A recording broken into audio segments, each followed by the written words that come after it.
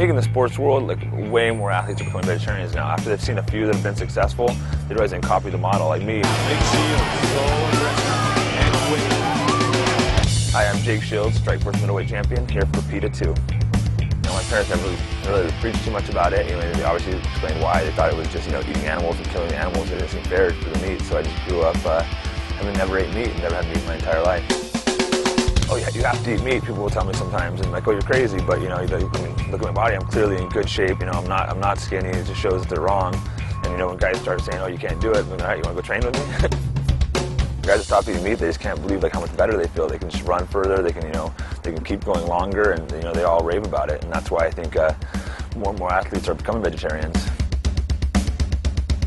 It's just horrible if you watch some of the videos. I think a lot of people change their minds. Just how horrible they treat the animals. You know, kicking the chickens and the cows and slaughtering them. The, just the way they're raised and treated is absolutely disgusting. Everyone hasn't seen the stuff. Should uh, should go, go check it out. You know, corporation like McDonald's has a lot of responsibility to help change things. It's, them being so big, you know, they're perfect example because they're the leader of the pack. Whatever they say can go. If all of a sudden they say to the industry, hey, we're not going to take this this inhumane treated uh, meat and just quit buying it and started buying it somewhere else, all of a sudden everyone would follow suit. There would be no choice.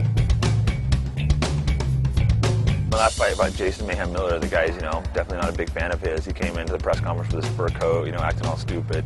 So it was nice to go out there and, uh, and kick his ass. People like that, you know, just don't set good examples. A lot of people being an athlete, people say, you know, you can't do that, and it shows that I've never had meat and I'm a very successful athlete. Jake Shields, he's a wrestler and a jiu-jitsu master.